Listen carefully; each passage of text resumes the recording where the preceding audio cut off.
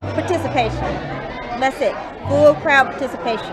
I hear a lot of times like, oh, we need this, oh, we need that. For example, in Michigan, we um, hear a lot, oh, we should get together and form a support group.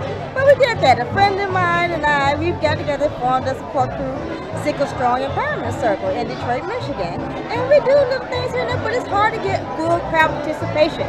Okay, it's here. You wanted it, you asked for it, we're trying to provide it. You're not coming out. Not coming out to meetings. You, you only maybe come out every once in a while to certain events. But they'll, you know, just folks kind of trickle into that. But it's like, what do you, you say you want it, we're providing it. Just, just stop saying you want stuff you don't really want it. If you want it and we provide it, participate. That's all. We need full crowd participation.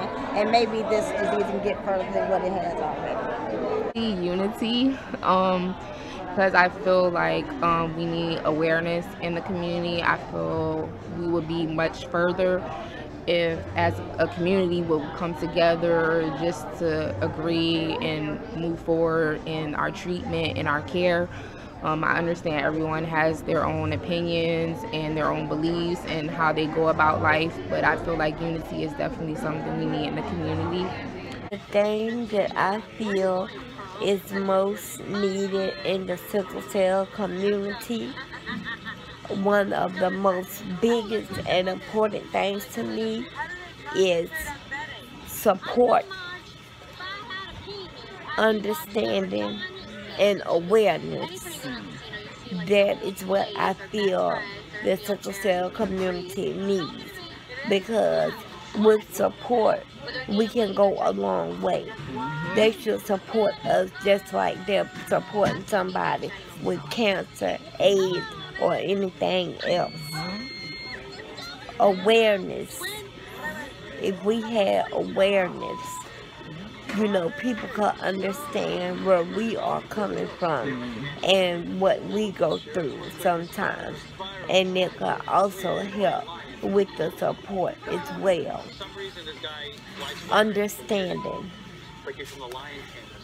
Understanding, I say, because most doctors, and I say most, and I mean most when I say it, see us as drug seekers. And they feel like we just want some pain medicine or we just own drugs.